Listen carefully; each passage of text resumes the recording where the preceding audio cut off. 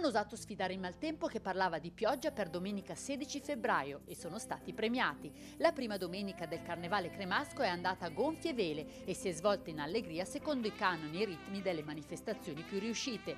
Partita in sordina per quanto riguarda l'affluenza, per il rischio maltempo e per le voci che giravano in città di un probabile annullamento, in realtà il Carnevale Cremasco si è confermato come sempre all'altezza delle aspettative, capaci di regalare momenti indimenticabili ai bambini e alle famiglie che vi hanno partecipato. Sei tradizionali carri allegorici che hanno sfilato lungo le vie della città, costruiti dai gruppi storici dei Barabet, Pantelù e Amici.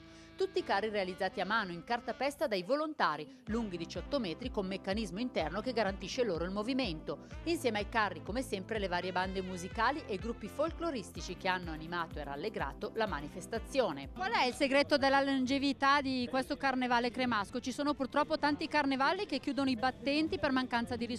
Anche il nostro carnevale non è che navighi nell'oro, tuttavia riesce ogni anno ad arricchire anche con nuove iniziative. Sì, beh, sicuramente la manifestazione ha una base di prestigio perché appunto da 28 anni eh, si ripete. Eh, c'è da dire che dobbiamo anche ringraziare un comitato organizzatore estremamente tenace, determinato. Eh, di norma succede che l'indomani, dopo l'ultima sfilata, già si, ci si trova anche in comune e si comincia a immaginare l'evento dell'anno successivo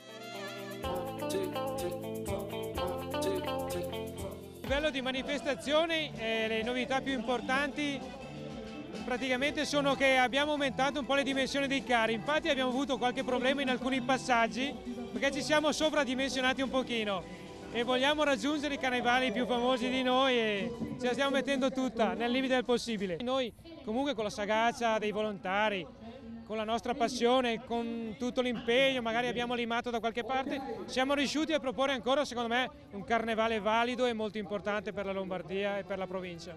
Ad aprire la sfilata, come da tradizione, il carro del Gaget col Souquet, la maschera tipica cremasca. Nel carro il Gaget, un contadino strampalato seduto su un trono, tiene tra le braccia la sua oca. Alle sue spalle la cascina dove si narra che il Gaget partisse per arrivare in città a vendere la merce da lui prodotta. Praticamente il contadino veniva con l'oca in braccio, la gianetta che è il bastoncino e da, dal 1955 è la, il marchio del Carnevale Cremasco, è la maschera riconosciuta in tutti i carnevali d'Italia. Le oche fanno le brave collaborano mica tanto? Collaborano tantissimo, stamattina era un po' irrequieta, adesso si è già un attimino ambientata in piazza, è diventata cittadina anche lei.